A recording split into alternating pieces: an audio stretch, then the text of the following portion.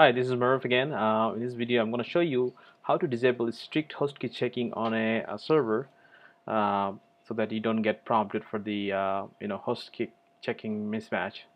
Uh, sometimes you might want to do that on a server which requires to um, log into some other servers for automation purpose, like you want to run a script on the server and you don't want to break the automation if if the key changes. On, on, on some systems. So I run into that a lot sometimes. So I had to uh, disable that. So I thought, you know, what, make a video out of it.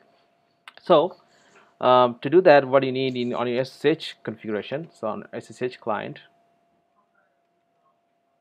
So because that's the client setting, right? SSH config. There is an option called strict host checking. Usually by default, it's always ask. Now, whenever you log into a server, you know it kind of uh, keeps track of that server on a known host file right? And then when if you connect it again to that server again and if the key changes then it will not connect you by default. It will tell you make sure your you know known host file is uh, you know updated and updated so that it can get the right key again. So to disable that you just uh, append these two lines here oh I'm using uh, shell in a box so I'm just gonna say let's try this.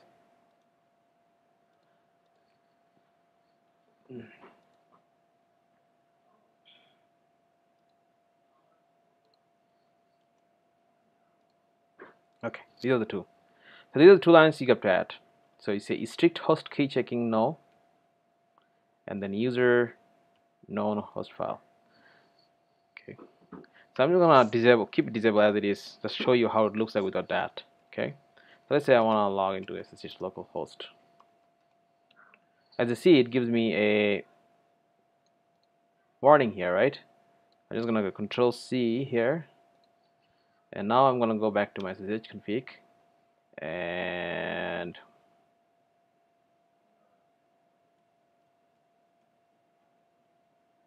enable these two lines to strict host key checking no and use a known host file equal to dev null. So it's not going to store any known host file at all. So be careful when you do that on a uh, production server. You might want to do that only on something that you, if you need it, if you need to do automation and, and you don't want to break your automation script sometimes because of this key checking. So so now we should be able to try this out.